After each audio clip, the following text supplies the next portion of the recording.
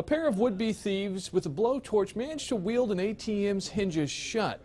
Okaloosa County Sheriff's officials say video surveillance shows two male suspects entering the boardwalk on Okaloosa Island Friday. One was armed with a crowbar and appeared to serve as a lookout while the other took the blowtorch to the ATM. Instead of cutting the ATM with the blowtorch, authorities say the would-be thief welded the metal part shut and the pair left with nothing. Not a thing. Matt Yurus, CBS Miami.